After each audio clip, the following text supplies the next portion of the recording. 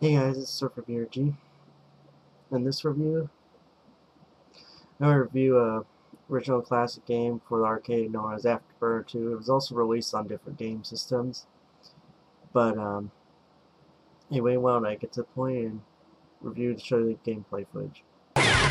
So far this game is pretty fun, it's pretty awesome. I don't know what too much to say except, I don't have much to say for this game except, awesome kind of easy, most of the time, most the time. It's really fun, basically, uh, working with both them.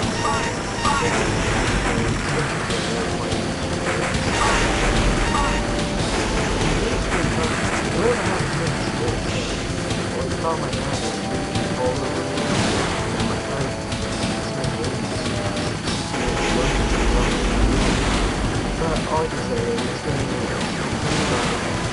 What's up pretty awesome game, I would say.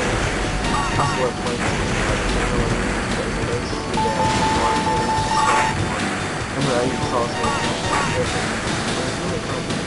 really pretty game to play. Also pretty awesome. It's good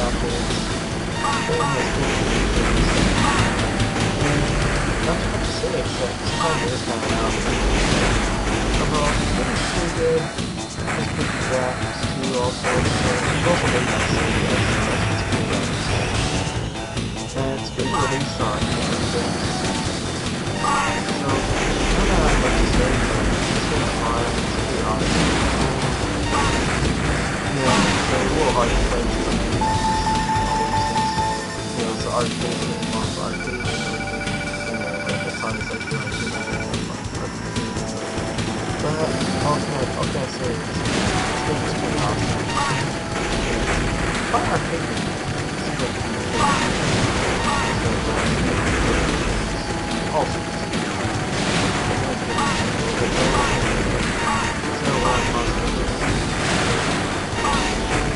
now after playing this game, it's pretty fun.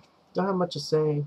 Few flaws, but still a really good game. It's still fun to play, so I want to give the game a 9.0. It's pretty awesome, it's fun, but not too much to say about the game. Overall, it is still a pretty good game. So, 9.0 is the final verdict, and all I say, so see you guys later.